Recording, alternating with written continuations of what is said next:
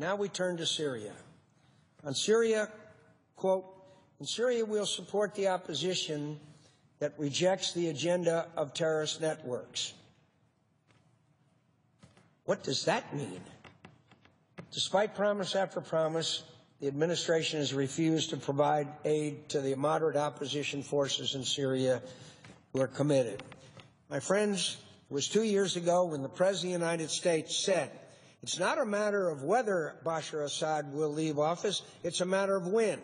It was over two years ago at the Senate Armed Services Committee that then Secretary of Defense Panetta and the Chairman of the Joint Chiefs of Staff said in answer to my question, said, Sir, it is inevitable, it is inevitable that Bashar Assad will leave office. Does anybody believe that now?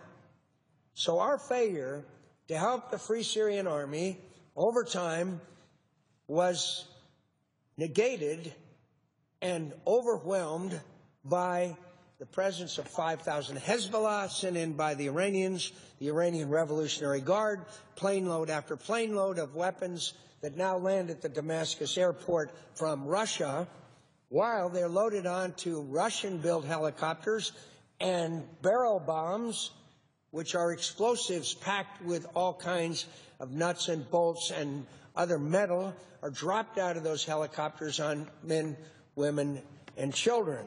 But not to worry, not to worry, because the chemical weapons are leaving, apparently, according to the president, because he said American diplomacy backed by the threat of force is why Syria's chemical weapons are being eliminated, and we will continue to work with the international community to usher in the future the Syrian people deserve, a future free of dictator, terror, and fear.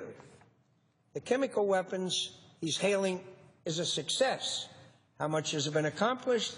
The Syrian government has delivered less than 5% of its deadliest chemical weapons agents to international authorities so far. LA Times story, I quote, Syria unlikely to meet deadline on its deadliest chemical agents. President Bashar Assad's government has delivered less than 5% of its deadliest chemical weapons agents. The deadline is next week.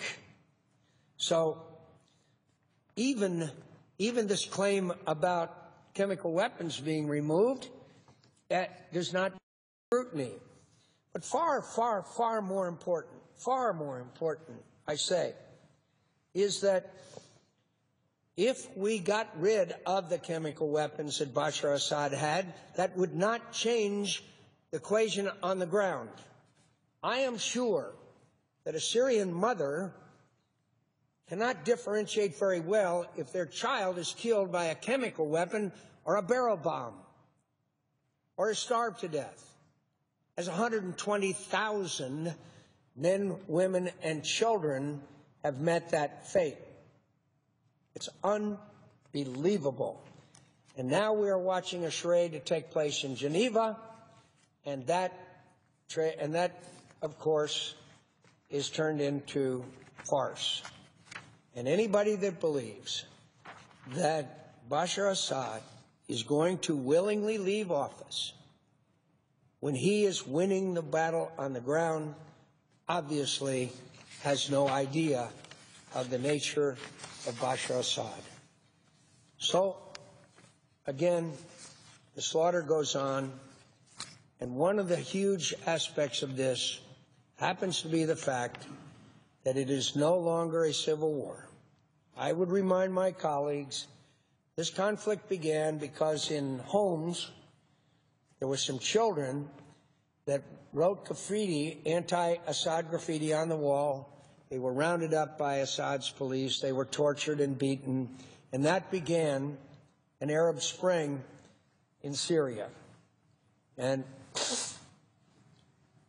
and that spread throughout the country and now has spread throughout the region. As I just said, Iraq-Syria border is now Al-Qaeda. It's now controlled by them. The Iranians are all in with 5,000 Hezbollah. Lebanon is destabilized. Jordan is overwhelmed by refugees. Turkey even is under strain. Hundred and some thousand refugees are even in Kurdistan. and it has turned into a regional conflict and one which sooner or later will, will finally erupt into a major, major conflict which is going to affect the United States of America. The President of the United States may want to leave the Middle East alone, but I can assure my colleagues the Middle East will not leave America alone. Look at the statement just today by our Director of National Intelligence, who said that al Nusra, an affiliate, affiliate of Al Qaeda, is planning attacks on the United States of America. And the President said, finally, let's remember that our leadership is defined not just by our defense against threats, but by the enormous opportunities to do good and promote understandings around the globe. And no one is better positioned to take advantage of those opportunities than America. I couldn't agree more. But when the United States is viewed by the world, particularly the Middle East, as weak, withdrawing, no longer involved, or trying to disengage, then I'm not sure that we can have the effects that the President outlined in his State of the Union speech. I think it's very clear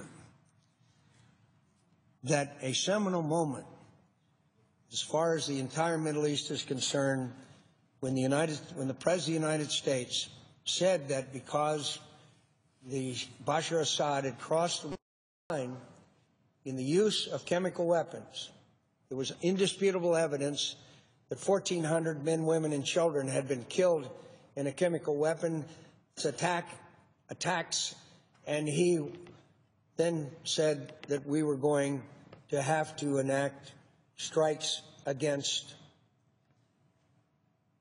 Bashar Assad in Syria. Our, uh, a few days later, our Secretary of State, in one of, one of the more incredible statements that I've ever heard, said, yeah, but the strike will be, quote, unbelievably small. I'm not making that up. He said the strike would be, quote, unbelievably small.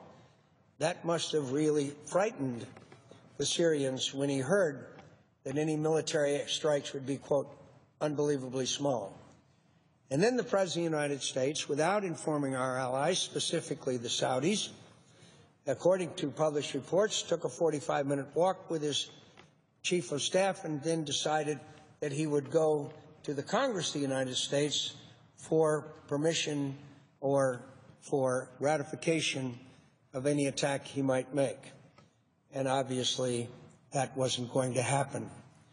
Now, I say to my colleagues, I travel a lot in the Middle East.